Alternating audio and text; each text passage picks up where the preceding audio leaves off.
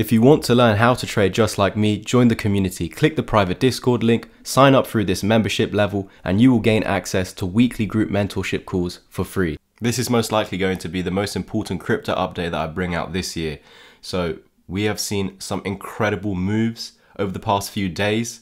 Uh, over the last month, we were saying that while Bitcoin is under 30,000, we're going to be keeping bearish. And the moment that that is being broken, we're flipping into a bull.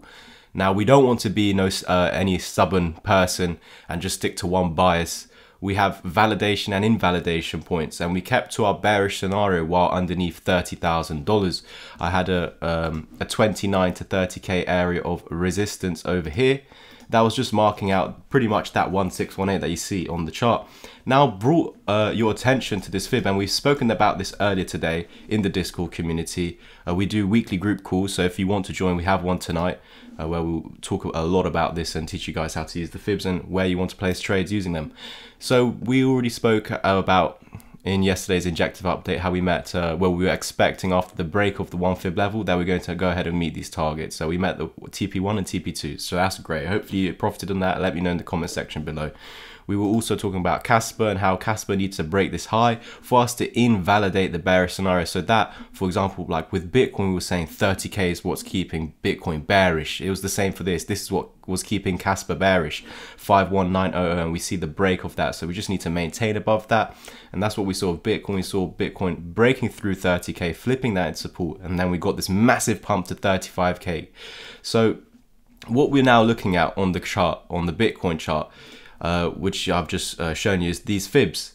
Now these fibs are, are showing uh, the prices um, based off the one fib level at 25k back in February of this year and I believe 19k from March. Let me just double check that. Yeah, February to March 2023. Yes. So we can see that we've pretty much after creating the reverse wave by breaking through the golden pocket and the one fib level and flipped into support over here at 25k, we've met the first three targets.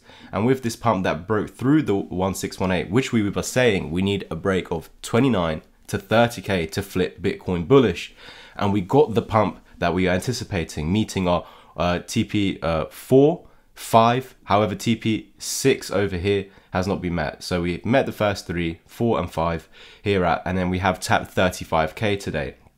So the question becomes, when is Bitcoin going to top out? Well, if we look at this chart and read the Fibonacci's, we would essentially say that while we are still above 23,000 over here, we would still meet this target, okay? That could actually still mean we could go down to 23,000 and yet still go up to 36,000 afterwards. I know it'd make more sense to just go up one more K to 36K, but when I, sorry if you can hear my cat, for once it's a change, you're not hearing my pug, you're hearing my cat. But uh, yeah, so that's throwing me off. But essentially guys, although we're just 1K away from this final target, you are allowed to dump all the way back down to the golden pocket which is down at 23k and still continue upwards afterwards. That is what I'm trying to get at. The reason being is this is where everything changed, this golden pocket right here. We were measuring from Feb to March. It gave us the areas of rejection, the golden pocket for continuation lower. However, we changed this path completely, invalidation. So we would have been saying, we are bearish underneath this. The moment we break this, we're bullish because that's that's correct. We're using this as a Fibonacci retracement tool. That is the name. So you measure a push, it's telling you we're retracing to here, and then continue in your original trend, which was a big downward push. So you expect retrace to here and then a big downward push. And then we create the reversal wave by breaking through 23k. So that's why we could have even at this point lost the 25k low over here, dumped down to 22 to 23k, and we still would have continued up high into that point. Now I'm going to uh, go back to our current chart right now because I need to place a new set of fibs. And I'm going to go over some more important things uh, very shortly. So make sure if you haven't already to like, subscribe, comment and share. Uh, we do these updates every single weekday. And so what we're now going to do is use some new sets of fibs from here to there, 25k low right there. And we can see that our 1618 target is up here, hasn't been met but we can see acting as confluence, we've got two targets right here. The sixth target out of this and the third target out of the new set of fibs. And we were saying on the channel uh, um, over the last few days that we needed a break above $28,100 to get this final pump into 2930k. Break uh, as long as 30k is resistance, we're considering this bearish. On the break of 30k, we're flipping into a bull. You have to understand as a trader, it is like this. There's validation and invalidation points. As soon as you see those things happening, you have to change your stance. So Bitcoin has decided to continue to these final sets of targets over here. We can see that out of the new sets of fibs has met the first and second, out of the old ones met the fourth and fifth. The only ones missing are the third one here and the sixth one here. 36 to 37,000. I'm going to make this a massive brick wall of resistance between 34.8 and 37k over here. For me, if we're not breaking through this point, we're going to be seeing a correction. And I'm going to show you a little um, example of why this move up at the moment might just be a bull trap. I know, why would you say that, Louie? You said breaking above 30k is bullish. That's correct, but we've now met some key targets. And when we do so, we usually tend to reverse. I'm going to uh, show you a little image right now of Wyckoff distribution that could say that what is going on right now, it could all still be part of Wyckoff distribution, which eventually does end up coming down lower. And again, guys, if we do have a massive crash eventually, we just need to hold above this area over here, 23k, if we do want to continue uh, with those targets being kept valid. You can come below this point. We do have a CME gap lower, so technically, on a technicality, you just need to hold above 19.6k and we will still continue higher. Look, we've got a 40, 43 and a 44, or let's just say 45k target up ahead. But are we now going to be seeing a dump? Uh, we just need, obviously, we need things to, to keep happening. We need the days and weeks to go by. We need the hours to go by because right now there's not a lot on the chart. It's just a straight green line. And we would know that if you want to buy these big green candles, you're usually going to get shafted. So what we're now going to do is get rid of these Fibonacci's, or at least that one.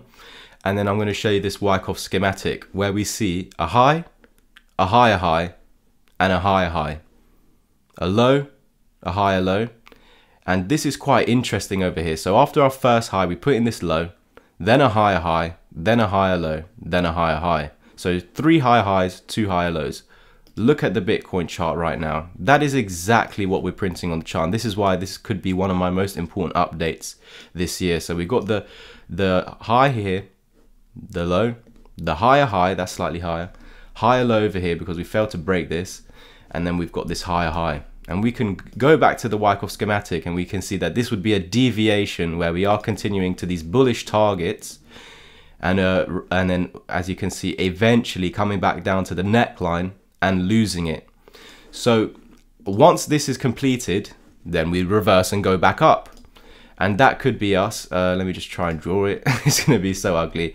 Uh, and then that could be us coming back down to this area. Now, as I said, we need to hold above 22 to 23k to keep uh, those higher price targets valid, which was uh, that uh, all the way up until 45k. However, realistically, you can come down below it but you must at all costs maintain this. If you go ahead and lose 19.6k, then it's KO. You're not going up to those targets. We're coming down lower. So you can actually deviate from that bullish path if you go down below it, but we must hold above the zero fib and then climb back up that golden pocket and then eventually go back higher to 45k. This could all still happen, guys, because uh, realistically, we do get a dump before the, the April uh, halving that's coming up. Uh, if you just go look in the past, you will see that in the months leading to it or the year leading to it, we do have dumps. And we can see since the beginning of the year down here, 1st of January, marked out right there for you guys, we have been in an uptrend with no huge corrections. This was more of a sideways one over here. In fact, it never went bearish because it was holding the higher highs and the higher lows. So we've really just been in uh, in an uptrend uh, so far this year.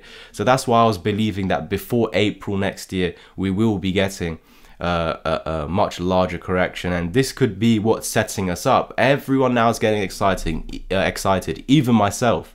The fact that we broke above 30k is super duper uh, bullish simply because if we were holding that area as resistance there was risk of a triple top over here or a head and shoulders pattern or just a double top and then this is just being a lower high and then we do come down lower but could it be that we're going for the max pain scenario where right now we're just hitting all the, liquidating all those shorts as we were anticipating breaking out bullish loads of people entering long. We saw loads of shorts getting liquidated uh, with all their stop loss above this point. Get yeah, getting tapped. Could we now be looking for that max pain scenario where we do be, uh, do actually come down lower? This is just a thought process of mine. I'm not saying this is going to happen. Uh, but um, I'm going to keep this in the back of my mind. I'm going to analyze this day to day as I usually would, but do keep this in the back of your mind. Again, this could still be the Wyckoff schematic that is actually at play over here because we are following this pretty much exactly at the moment. Big run up into the first high, and we see that over here. Big run up into first high, then the low, then a higher high, higher low, higher high, where we break all of the resistances and then eventually come down lower. And what could lead to us believing that this could be a potential scenario is that we're meeting our final sets of targets from this Fibonacci that we're using from February to March of this year. So I want to know your thoughts in the comment section below. Do you think this Wyckoff distribution schematic could be at play? Again, at all costs, we must maintain above 19.6k. To keep those 45k targets valid, you do need to maintain this. So you could come down all the way to 22, 23k, and we would still go up to there. But if we break below this, you're on a different path now where we're trying to lose this. But if you do maintain it, we've got the chance to get back above and go up like that. Um, one final thing that is going to tell, well, is that is going to help us uh, realize that this could also be a top is the Bitcoin CME uh, chart. It opens and closes like the stock market. And so with that, as we know, cryptos are 24 seven. Uh, cryptos continue to move, but as this follows the stock market opening closing times, there'll be points where this closes. So there was always going to be gaps because Bitcoin's constantly moving. And with this correction over here, we saw that if we ever lost this level, which was a uh, which was a previous resistance, now support, then we just fall back to the previous support down here at 20 to 21k. However, as we never lost them, we got that bullish divergence, which I called, suggesting that we would pump to 30k. Hopefully, took that trade, then saying that Bitcoin is bearish underneath it. We broke through 30k, then we flipped bullish. And look over here, guys, we had a CME gap right there at 34.3 to 35,000 that was not yet filled. And it would be sooner or later. We would then obviously suggest if this one's not being filled and we're going to eventually correct that after this correction, we're going to go up. But could we right now be in some crazy trap where we're going up first and then eventually coming down to there to then eventually reverse and then go up into the bull market? I think that if we are believing that there will be a crash before the halving in April 2024, that this could be a likely scenario. As we saw over here, this was a CME gap that was filled. However, it looked like we were topping out over here. There was in fact bearish divergences that just took us back down to the key level of support support. And then we saw some bullish divergences over here, which we called for to enter trades to 30,000, which is where uh, you should have closed those trades. So I want to know your thoughts in the comment section below. Could we be on a path like this right now? Usually when we meet a CME gap, we do tend to reverse.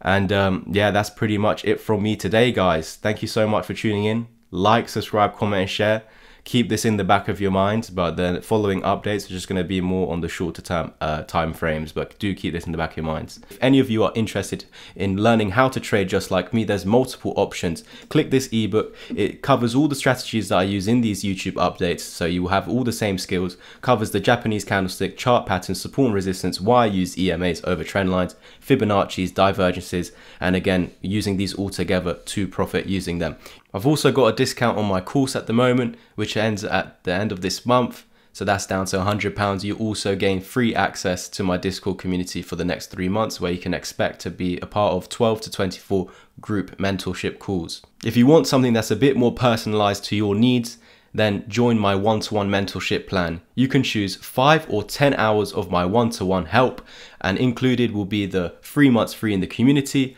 as well as my six hour long video course.